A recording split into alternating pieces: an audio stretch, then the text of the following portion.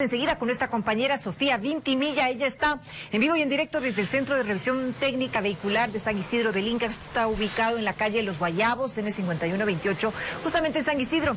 Por favor, este, mi querida Sofi, cuéntanos cómo van a trabajar los centros de revisión vehicular durante el feriado de Navidad y de fin de año para que nuestros amigos televidentes tengan las precauciones del caso y sobre todo que se eviten las multas.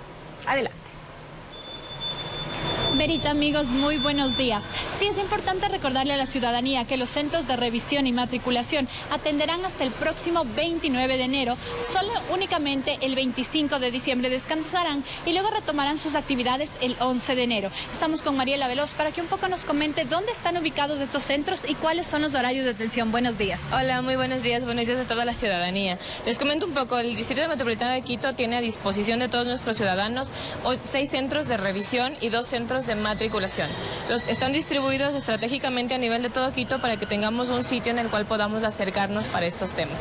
Adicional, eh, los horarios, comentarles un poquito, en los centros de revisión atendemos desde las 8 de la mañana hasta las 5 de la tarde y el sábado, que es el día que trabajaremos también este sábado, trabajaremos desde las 8 de la mañana hasta la 1 de la tarde.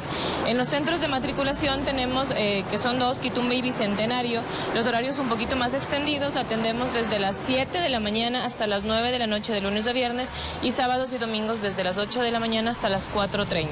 Importante recordarles y pedir a la ciudadanía que tengan en consideración que deben llevar los valores cancelados.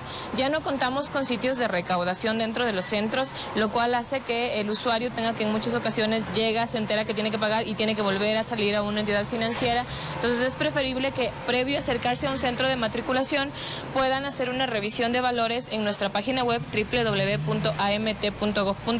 en el cual podrán identificar el costo de la matrícula, si tuviesen una multa, porque recordemos que toda persona que matricule este mes ya tiene una multa por calendarización de 25 dólares y adicional en caso de que tuviese alguna infracción de tránsito o sea por ordenanza. Una vez que tenga todos los valores cancelados, se acerca a cualquiera de nuestros puntos de matriculación e inmediatamente podrá hacer todo el trámite que corresponde. Sí, recordarle a la ciudadanía que tienen que venirle hasta este próximo 29 de diciembre, puesto que en enero hay nuevos impuestos adicionales de estos 25 dólares que usted menciona. El tema del en enero, lo que, lo que sucede es si alguna persona no matricula este año, lo que tendrá es multas adicionales. No solo la multa por calendarización, que es mensual, sino también la multa por no haber matriculado en el año, así como también si no pasó la revisión técnica vehicular, una multa adicional. En total, esta multa podría ascender hasta 100 dólares, lo cual ya sería un tema bastante elevado. Por eso es importante recordar que aún nos queda tiempo. El único día que no atenderemos es el 25 de diciembre por ser feriado.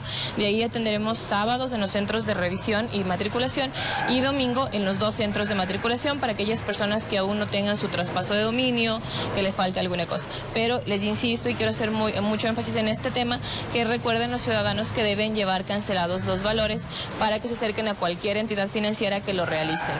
Las entidades incluyendo servipagos, ¿verdad? Sí, en servipagos podemos hacer eh, podemos pagar las multas tanto por eh, revisión técnica vehicular o por ordenanzas, así como también cualquier otro, otro valor que corresponda a la matriculación.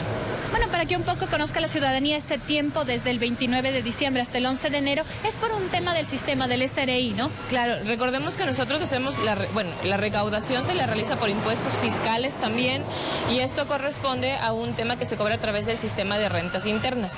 Como el SRI nos ha notificado de manera oficial que el sistema está cerrado a partir del 29 a las 6 de la tarde y se reapertura el 11 de enero a las 0 horas. Es decir, a partir del 11 uno ya puede cancelar los valores de matrícula para poder hacer los trámites correspondientes.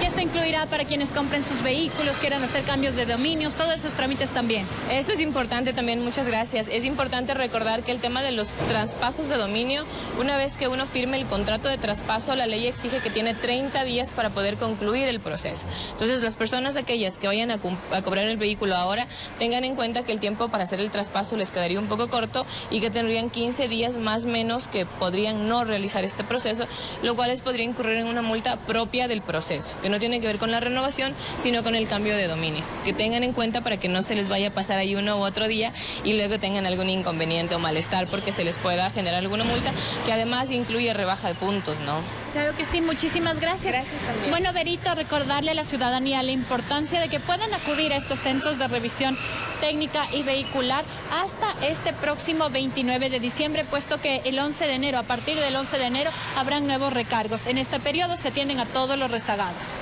Muy bien, mi querida Sofi, muchísimas gracias por esa información muy válida para todos nuestros amigos televidentes quienes todavía no se han acercado a los puntos de revisión y de matriculación para que lo hagan a tiempo y así evitar las penosas multas. Muchas gracias, muy buenos días para ti. Un abrazo. Muy buenos días, Berito. Un abrazo también. Y nosotros